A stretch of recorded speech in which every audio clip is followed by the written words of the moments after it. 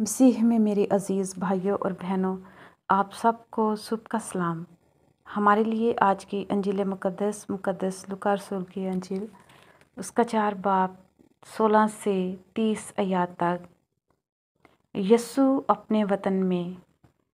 फिर वो नासरत में आया, जहाँ उसने परवरिश पाई थी और अपने दस्तूर के मुताबिक सबत के दिन इबादत खाने में गया और पढ़ने को खड़ा हुआ। और इशाया नबी का तुमार उसको दिया गया। और जब उसने तुमार खोला तो वो मुकाम पाया जहाँ ये लिखा था, कि रूही खुदामंद मुझ पर है। इसीलिए उसने मुझे मसा किया कि मस्किनों को खुशखबरी दूँ। उसने मुझे इसलिए भेजा है कि कैदियों को रहाई और अंधों को बिनाई और कुचले हुओं को आज़ादी बख्शूँ। और खुदामंद के साल मकबूल को मुश्तहर करूँ और वो तुम्हार लपेट कर और ख़ादम को वापस देकर बैठ गया।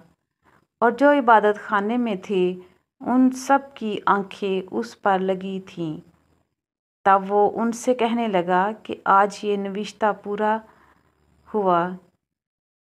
ये नविश्ता तुम्हारे कानों में पूरा होकर पहुँचा और सबने उस पर गवाही दी और शफकत की उन बातों पर जो उसके मुँह से निकलती थीं ताजुब करके कहने लगे कि क्या ये भड़ई का बेटा नहीं? और इसके बाप का नाम यूसुफ नहीं? उसने उनसे कहा कि तुम बेशक ये मिसल मुझ पर कहोगे। ए तबीब, तू अपना इलाज कर, और जो कुछ हमने सुना है कि तूने कुफ्र नहू में किया, क्या यहाँ अपने वतन में भी कर? और उसने कहा, मैं तुमसे सच सच कहता हूँ कि कोई नबी अपने वतन में मकबूल नहीं होता, लेकिन मैं तुमसे सच कहता हूँ कि जब इलियास के दिनों में तीन वर्ष छः महीने तक आसमान बंद रहा, यहाँ तक कि तमाम मुल्क में सख्त काल पड़ा तो बहुत सी बेवाएँ इसराइल में थीं। मगर इलियास सवाए सदून के सारफत की एक बेवा औरत के उनमें से किसी के पास ना गया और लिशा नबी के वक्त इसराइल में बहुत से कोड़ी थे, लेकिन उनमें से कोई पाक ना किया गया सवाए नुमान सुरहानी के। और जितने इबादत खाने में थे, सब उन बातों को सुनते ही गुस्से से भर गए और उठकर उससे शहर से बाहर निकाला और उसे उस पहाड़ की चोटी पर ले गए जिस पर उनका शहर बना हुआ था, ताकि उसे सर के बल गिरा दें। लेकिन वो उनके बीच से गुज़र कर चला गया। अंजील मुकदस के पढ़े और सुने जाने पर खुदावंद की बरकत हो खुदावंद का शुक्र हो। मसीह खुदावन में अज़ीज़ भाई और बहनों आज कलाम मुक़दस में पहली तलावत में हमारे सामने मुक़दस पलोस रसूल का बुलावा और उसकी अपनी खिदमत और ज़िम्मेदारी से वफ़ादारी है। तो दूसरी तरफ़ खुदावन यसु मसीह का बुलावा और उसकी अपने मिशन और अपने मकसद को पहचान कर उसके साथ वफ़ादारी निभाने का नमूना हमारे सामने रखा गया है। आए हम उसकी रोशनी में अपने आप को देखें हम किस लिए बुलाए गए हैं। खुदा यसु मसीह पाक इंजील में मुकदस लूका की इंजील के मुताबिक पहले दूसरे इलाकों में बशारत देता है तो फिर वो अपने गाँव, अपने वतन, नासरत के इबादत खाने में तालीम देने को आया है। और जहाँ उसे तुमार दिया गया ईशा नबी का तुमार तो उसने वो मुकाम खोला जहाँ ये लिखा था, रूह खुदावन मुझ पर है इसीलिए उसने मुझे मसा किया कि मस्किनों को खुशखबरी दूँ। उसने मुझे इसलिए भेजा कि कैदियों को रिहाई और अंधों को बिनाई और कुचले हुओं को आज़ादी बख्शूँ और खुदावन के साल मकबूल को मुश्तर करूँ। इस तरह खुदावन यसु मसीह अपने बुलावे में देखता है कि खुदावन का रूह मुझ पर है। उस रूह ने मुझे मसा किया है। उस रूह ने मुझे भेजा है। और इन बातों को कि खुदावन ने मुझे भेजा है, मसा किया है, मखसूस किया है, किस लिए? कि मस्किनों को खुशखबरी दूँ और कैदियों को रिहाई की, अंधों को बिनाई की और कुछ लेहुओं को आज़ादी बख्शूँ। और साथ खुदावन के साले मकबूल को मुश्तर करूँ। तो उस लिहाज से हम में से भी हर एक को अपने अपने बपतिस्मा के बुलावे को सामने रखना चाहिए, अपने इस्तेकाम में पाक रू के फजल और उसके मस मसा करने के अमल को अपनी ज़िंदगी में पहचानना चाहिए और देखना चाहिए, हम अपने आप में किस मकसद के लिए खुदा की तरफ़ से भेजे गए हैं। क्या हमारी बातों से, हमारे कामों से मस्किनों को खुशखबरी मिलती है? कैदियों को रिहाई की, अंधों को बिनाई की और कुछ लेहुओं को आज़ादी की खुशखबरी मिलती है? या क्या हम अपनी मर्ज़ी के बजाय खुदा के साल मकबूल को, खुदा के इरादे को, खुदा की बादशाही को मुश्तहर करते हैं या किसी और फ़िक्र में होते हैं।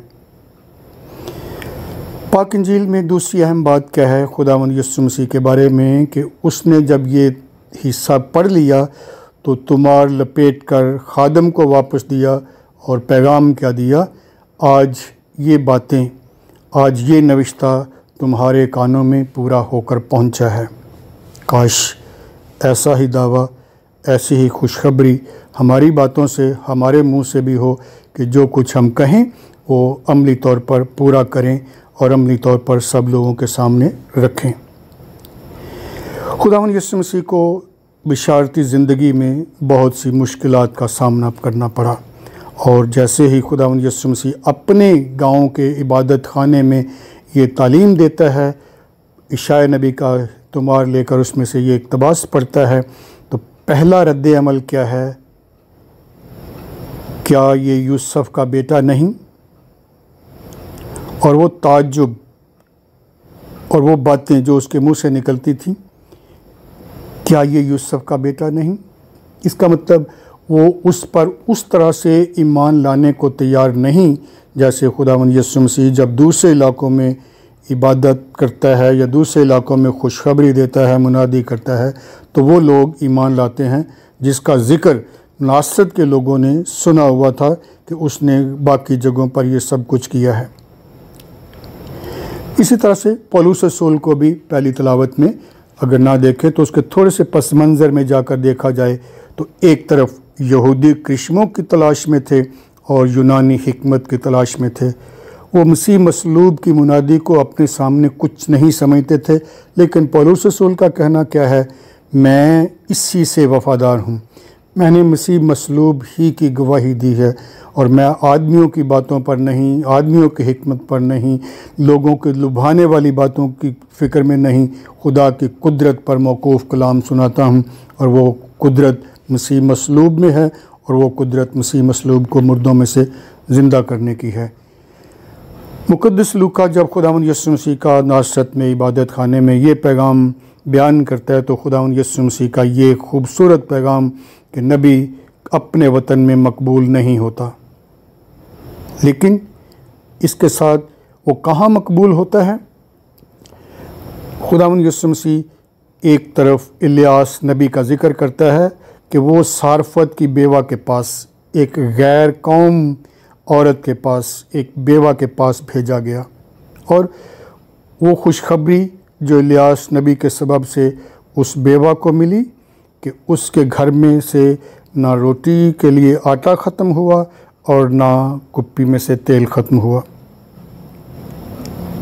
खुदा की ये मोहब्बत, खुदा की ये बरकत सिर्फ़ यहूदियों के लिए नहीं, सिर्फ़ यहूदियों में ही नहीं आज सिर्फ़ हम मसीहों ही के लिए नहीं, बल्कि ये हमारे वसीले से और हम में से हर एक के वसीले से या वो जो अपने आप में ये ज़िम्मेदारी महसूस करें, हमारे वसीले से सब कौमों तक पहुंचनी चाहिए।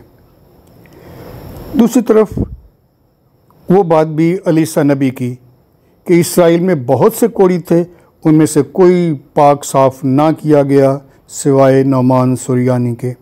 वो भी एक गैर कौम शख्स था।